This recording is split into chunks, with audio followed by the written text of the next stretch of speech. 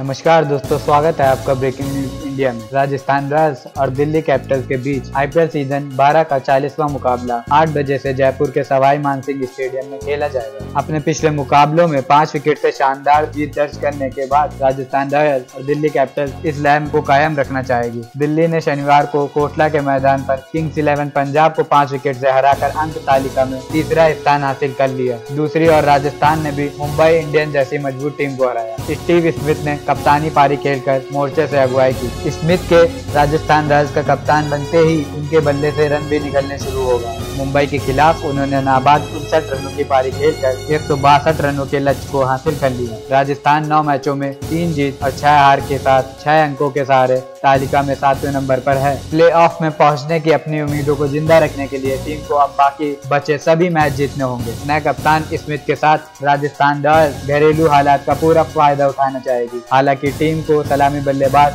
George Buttler की कमी खलेगी। आंजिक रहाणे को खराब प्रदर्शन के कारण कप्तानी से हटाया गया और सलामी बल्लेबाज के रूप में भी उनकी जगह राहुल त्रिपाठी को उतारा जा सकता है। त्रिपाठी ने किंग्स इलेवन पंजाब के खिलाफ 45 गेंदों में अर्ध शतक बनाया था, जबकि रहाणे ने 21 गेंदों में 26 रन बनाए थे और उनकी टीम 12 रनों से मैच हार गई थी। कोहनी की चोट से उबर कर स्मिथ ने फॉर्म में वापसी की है। दूसरी ओर संजू सैमसन और रियान पराग का प्रदर्शन भी अच्छा रहा है। डेथ ओवरों में गेंदबाजी ज़रूर चिंता का सबब है। जोफ्रा आर्चर और लेग स्पिनर श्रेयस गोपाल को छोड़कर कोई गेंदबाज लगातार अच्छा प्रदर्शन नहीं कर सका बात करें दिल्ली कैपिटल्स की तो इस सीज़न में शानदार प्रदर्शन कर रही दिल्ली ने भी अपने पिछले मैच में फिरोज शाह कोटला मैदान पर किंग्स इलेवन पंजाब को पाँच विकेट से मात दी थी। दिल्ली इस समय दस मैचों में छह जीत और चार हार के साथ बारह अंकों की बदौलत तीसरे नंबर पर कायम है। उसके लिए अब प्ले की राह आसान होती जा रही है। दिल्ली को एक बार फिर अपने स्टार बल्लेबाज शिखर धवन और कप्तान श्रेयस अय्यर से अच्छे प्रदर्शन की उम्मीद होगी। दोनों खिलाड़ियों ने पिछले मैच में क्रमशः छप्पन और नाबाद अट्ठावन रनों की पारी खेलकर टीम की जीत में अहम भूमिका निभाई थी। गेंदबाजी में टीम को अपने स्टार गेंदबाज कैगिसो रबाडा से काफ़ी उम्मीदें होंगी, जो अब तक इक्कीस विकेटों के साथ गेंदबाजी की सूची में शीर्ष पर चल रहे हैं। उनके अलावा